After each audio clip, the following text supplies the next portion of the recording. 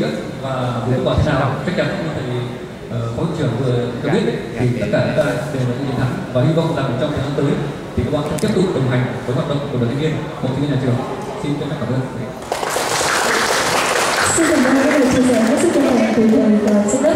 Và để tiếp nối chương trình, xin mời bạn Phạm Thế An, đại diện các đội chơi anh em có lời đời phát biểu. Xin mời bạn.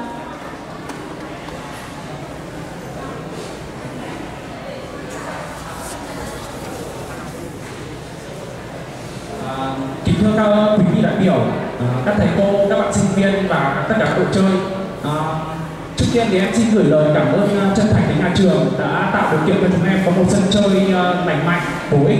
À, cá nhân em cũng như tất cả các đội chơi ngày hôm nay đều cảm thấy vô cùng vinh dự. À, à, thay mặt các đội chơi em xin hứa sẽ thi đấu với tinh thần fair play, à, thi đấu hết mình và cống hiến cho các khán giả. À, chúc cuộc thi thành công tốt đẹp. Em xin cảm ơn. Chúng ta vừa được nghe lời hứa của đại diện các đội. Chúng ta đến sân chơi này với một tinh thần học hỏi, cùng chung sở thích, đam mê nghiên cứu khoa học. Chúc cho các đội thi của chúng ta ngày hôm nay sẽ hoàn thành thật tốt phần dự thi của mình và đạt được kết quả thật cao.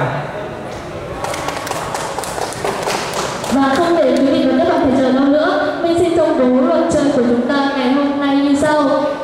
Sân thi đấu có kích thước 2 x